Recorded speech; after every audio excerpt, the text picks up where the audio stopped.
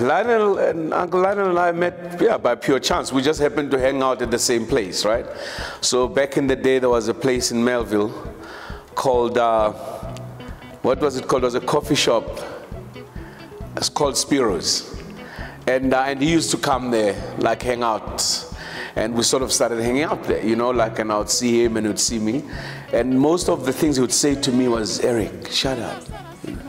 Just be quiet, Eric. so that's how we met, yeah, yeah, yeah, yeah, on the street.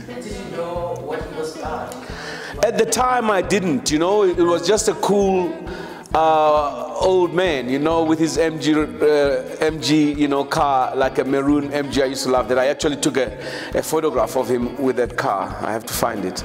Um, I might have uh, even given it to you. I can't remember now. But um, and he had this MG Rover. He was this cool old man, you know.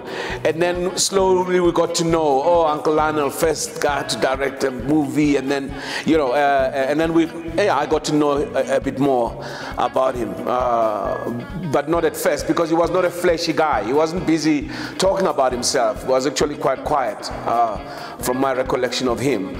Once you engage, of course, he'll talk with you, but, but he was a quiet gentleman. I, I remember him being very gentlemanly and very quiet.